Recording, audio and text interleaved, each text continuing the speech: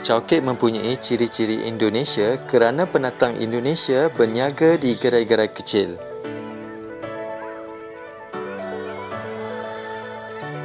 Penyanyi Sudirman Ashad pernah mengadakan konsert terbuka di sini dan menyampaikan lagu Coket Road pada tahun 1980-an.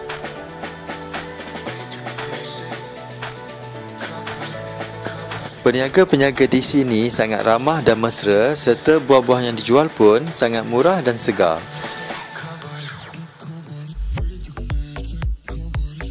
Keselamatan di Chowkit pun terjamin dengan adanya abang-abang bomber yang ramah dan mesra ni hanya bersebelahan dengan pasar Chowkit.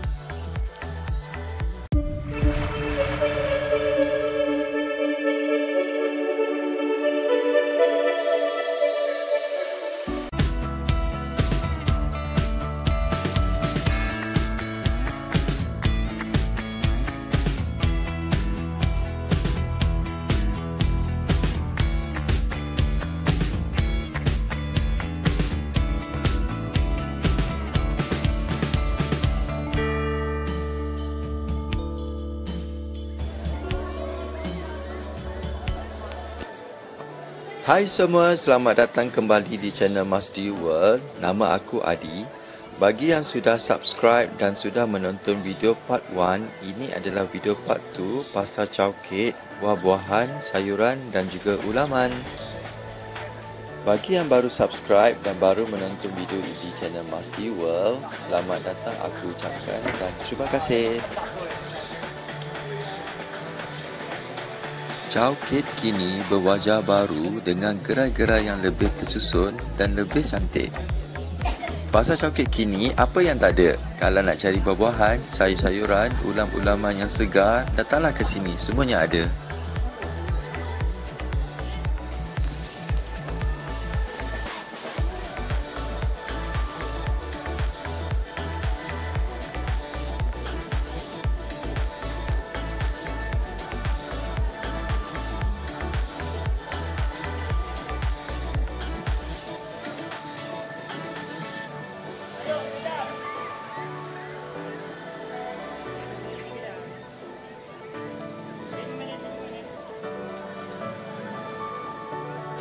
Siapa-siapa yang suka makan sirih tak perlu lagi panjat pokok pinang. Di sini buah pinang pun ada dijual. Pelbagai bahan untuk buat jamu sendiri pun ada. Halia bara, temulawak, ibu kunyit, ibu kunci dan banyak lagi ada kat sini.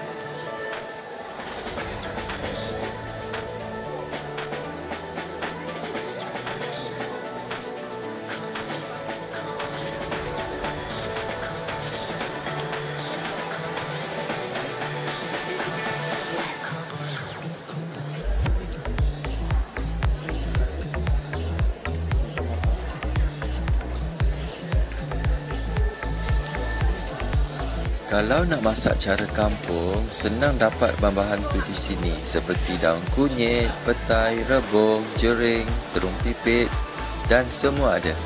Rahsia mereka yang sudah berusia tapi nampak awet muda, salah satu amalan mereka adalah makan ulam. Ulam kaya dengan vitamin C yang mana penting untuk penghasilan kolagen. Unsur kolagen inilah yang membuatkan lebih elastik dan kurang kedutan. Amalkan makan ulam-ulam untuk khasiatnya bukan saja untuk awet muda tapi lebih daripada itu. Salah satu contoh ulam pegaga. Amalan minum air rebusan pegaga dikatakan boleh menaikkan seri wajah.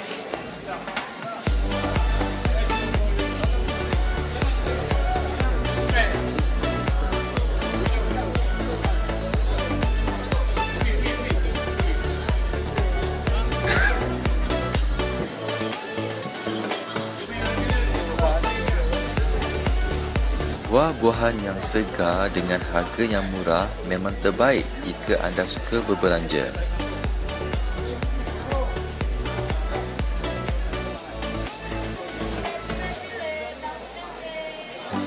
Jika nak cari buah-buahan tempatan seperti betik, pisang, rambutan, durian yang segar, mudah didapati di sini. Buah tempatan yang paling aku suka tentulah buah durian, manggis, dragon fruit yang merah tu, rambutan, hmm, banyak lagi lah. Jika korang suka buah apa, sila komen kat bawah nanti aku baca okey. Laluan jalan kaki di bahagian buah-buahan agak luas, cantik dan bersih. Jika anda bawa barang-barang yang anda berbelanja tadi, tidak mengganggu laluan orang lain.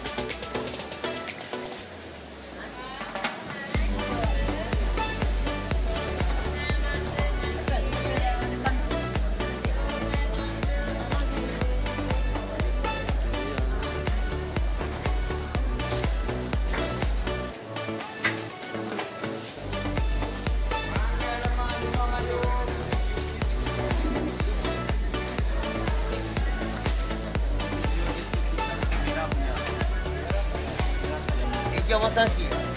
Sikit masak. Masak. Lima ni lah, lima ringgit. Satu. Buah ringgit, satu kotak harga lima RM5 ringgit, lima ni aku rasa murah dan nampak banyak. Sebab kalau kat tempat lain, mesti mahal. Buah nanas ni nampak besar dan solid. Tapi aku tak tahu apa nama buah nanas ni. Ada sesiapa yang tahu?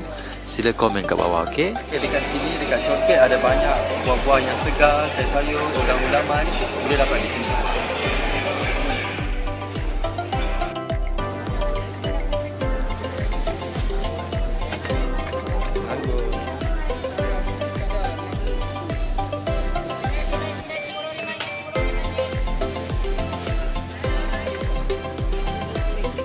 Peniaga buah-buahan tidak kedekut memberi anda rasa buah yang dijual. Bila dah cuba rasanya manis dan sedap, mesti rasa nak beli. Terbaik cara ni. Mesti kena cuba mangga lemak manis ni sebab rasanya sedap dan betul-betul manis bila isinya warna kuning. Untuk pengetahuan semua, pasar coket yang didirikan di atas tanah bekas lombong ini dibahagikan kepada beberapa segmen iaitu bahagian basah yang menjual ikan, ayam dan daging, buah-buahan, sayur kampung, makanan dan pakaian.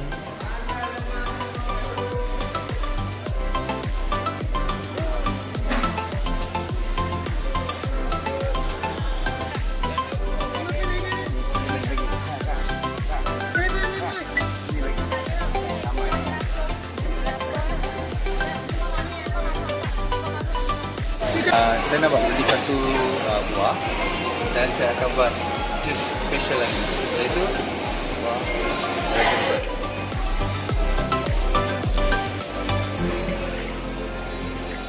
Buah ini segar dan tengok apa yang saya akan buat untuk jus hari ini.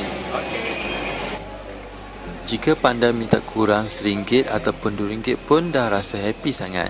Sebab rezeki untuk yang membeli dan rezeki yang menjual. Jika nak beli buah, datang kat gerai ni. Orangnya baik, ramah dan juga dapat harga kurang sikit. Sebenarnya, peniaga-peniaga di sini baik, ramah dan mesti kena pandai tawar-menawar.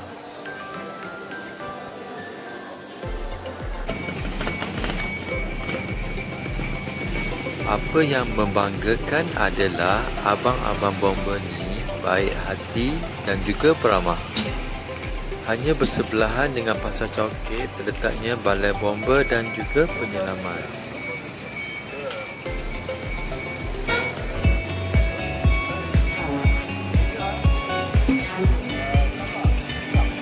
Jika korang rasa konten video ini bagus, sila komen di bawah. Ya. Jika nak tanya dan berkongsi, sila komen di bawah juga.